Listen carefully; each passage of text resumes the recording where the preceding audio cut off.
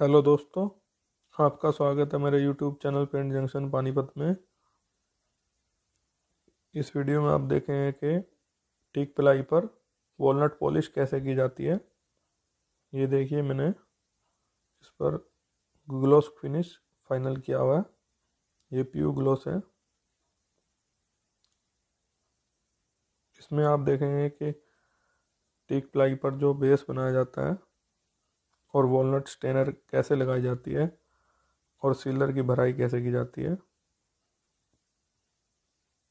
ये देखिए gloss finish इस पर फाइनल हुई पड़ी है।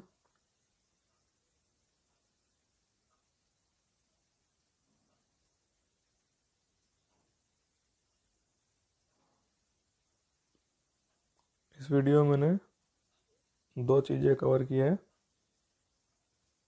देखिए, जैसे इस पर टिक प्लाई लगी हुई है। स्टिक प्लाई के अंदर जो आपको किले नज़र आ रही है, इन कीलों को हमने हथौड़ी और कील की सहायता से अंदर दबा देना है। इसको थोड़ा थोड़ा अंदर करने के बाद में हमने वॉलनट कलर का वुड फिलर ले लिया है, क्योंकि हमें वॉलनट पॉलिश करनी है। अगर आप नेचुरल पॉलिश करना चाहते हैं तो टीक वुड फिलर ले लीजिएगा। ये वॉलनट वुड फिलर है, इसमें मैंने थोड़ा ब्राउन पाउडर भी मिला रखा है। ये देखिए, इसे हमने ऐसे हैंडल पत्ती से या जो जो आपको अवेलेबल हो मार्केट से, वो आप ले सकते हैं। उससे जो है, जो किलो वाले छेद होते हैं, इनमें हमने वुड फिलर इसमें भर देना है। इससे इसकी रिपेयरिंग हो जाएगी।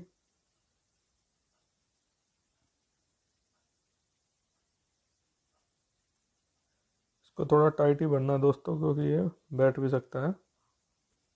इसलिए टाइट वुड फिलर इसमें हम भरेंगे।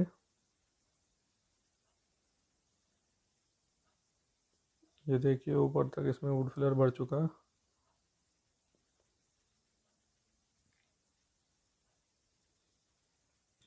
ये बेस बनाने का मेन स्टेप होता है दोस्तों।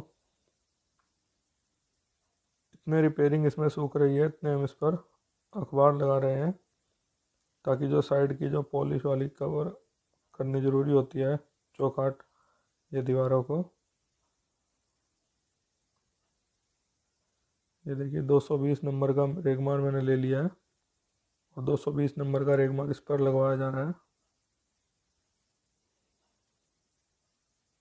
इससे जो है रेशे की दिशा में ही चलाना ज़रूरी है दोस्तों। इसको जैसे जैसे रेशा है, वैसे ही इसकी घिसाई करेंगे। जिस तरफ़ रेशा घूम रहा है, उसी तरफ़ हाथ चला के इसे घिसाई करना होता है।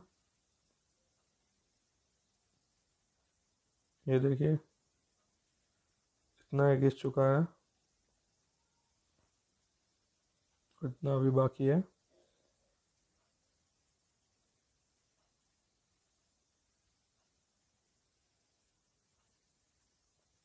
ये देखिए, इसे पूरा घिसने के बाद मैंने इस पर वॉलनट स्टेनर का एक हाथ लगा दिया है।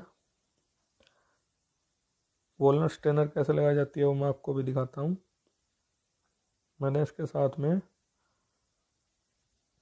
एक डिज़ाइन भी कवर किया है, ये देखिए। इस पर भी मैंने ऐसा ही सेम बेस बनाया है जो मैंने अभी ईंटों वाले डिज़ाइन पर बना रखा था। वैसा ही बेस इस पर बन चुका है। कील वील अंदर करके इसका वुड फिलर बार रिपेयर हो गया है सब कुछ। ये देखिए।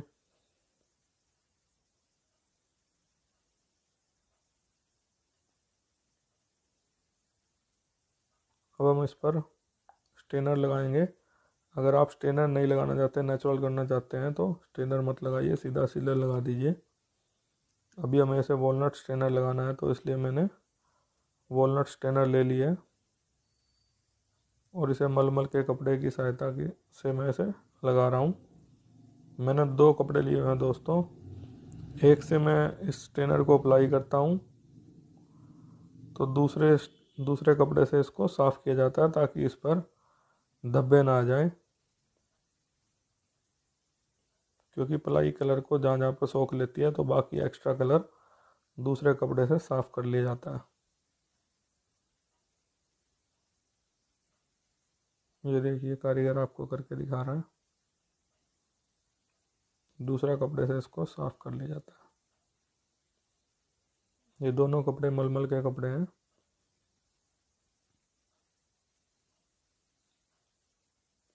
हमने सारे डिज़ाइन को पहले अच्छे से स्टेनर कर लेना है और साथ के साथ सफ़ाई भी करते रहना है। स्टेनर लगने से देखिए दोस्तों, ये कलर चेंज हो गया इस प्लाई का अभी ब्राउन शेड में दिखाई दे रही है।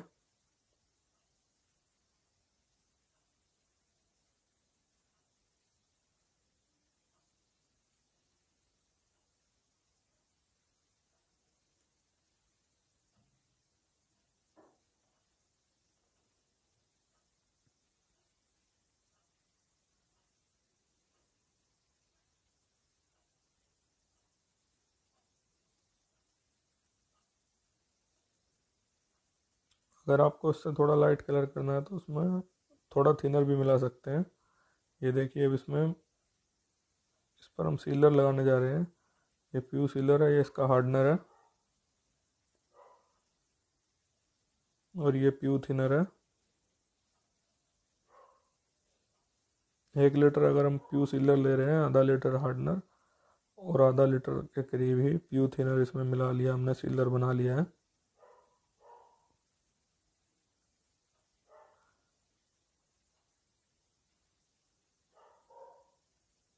देखिए सीलर ऐसा होता है येलो कलर का। देखने में पीला पीलापन होता है इसमें। क्योंकि हमने जो उसको कलर करना ही था तो हमने कलर वाले डिब्बे में ही सीलर बना लिया था।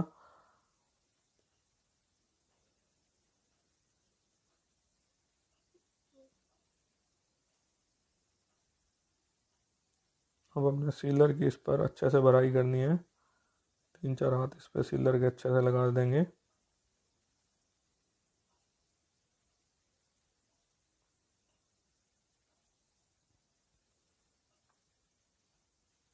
जैसे जैसे इस पलाई में चमक आएगी तो समझ लीजिएगा कि जो सीलर की भराई अच्छे से हो गई है।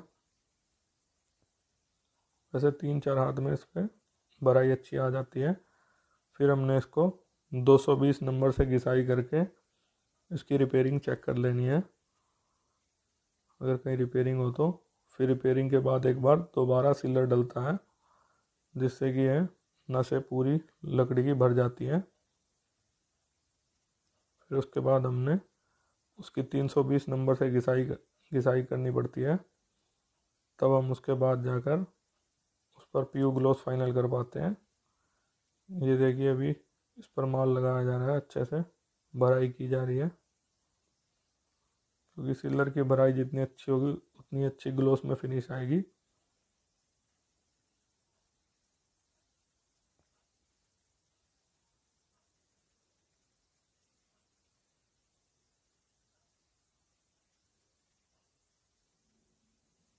इस चैनल पर आपको दोस्तों डीको पेंट रॉयल पेंट इन सबसे रिलेटेड सारी वीडियो मिलेंगी।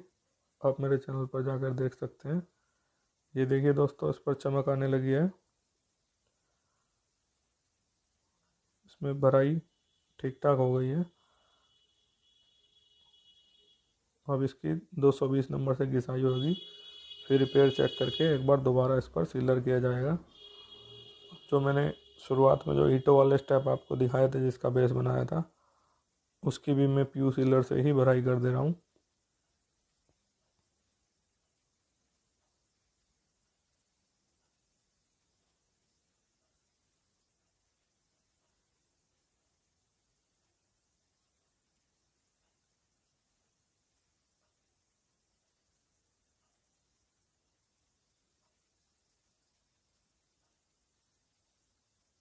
ये देखिए इसमें भी।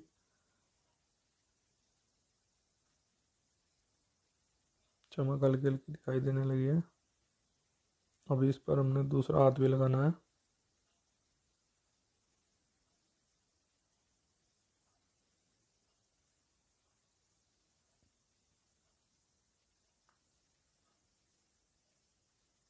डबल सिलर के बाद दोस्तों हमने इसकी 320 नंबर से घिसाई अच्छे से करवानी है। ताकि कहीं पर भी सीलर की चमक ना रह जाए। क्योंकि ग्लोस लगाने से पहले दोस्तों, इसको अच्छे से घिसाई करना ज़रूरी होता है। ग्लोस लगाने की पूरी वीडियो का लिंक मैं आई बटन में भी दे दूँगा और डिस्क्रिप्शन में भी डाल दूँगा। आप उसमें ग्लोस एप्लीकेशन कैसे करते हैं, उसका पूरा वीडियो आप सेमी ग्लोस का भी देख सकते हैं, मैट फिनिश का। और ग्लोस फिनिश का सभी वीडियो आप डिस्क्रिप्शन में जाकर देख सकेंगे ये देखिए प्यू ग्लोस के अंदर भी प्यू थिनर डलता है। ये प्यू ग्लोस फाइनल करने के बाद ऐसी फिनिश आ जाएगी।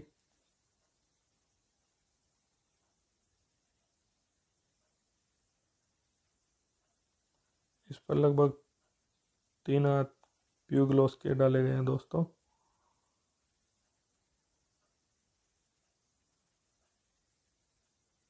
तीन हाथ प्यू ग्लोस डलने के बाद यहाँ से चमकने लग गई है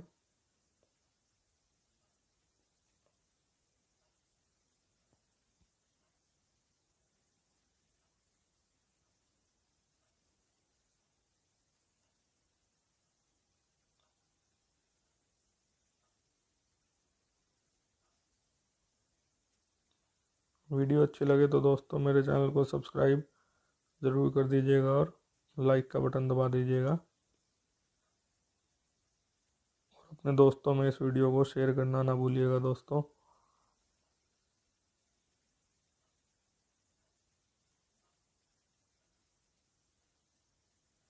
हर तरफ़ ग्लोस जो है इक्वली चढ़ चुकी है।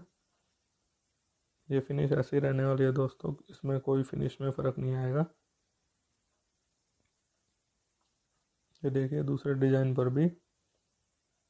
जो है ग्लोस अच्छे से दिखाई देगी आपको।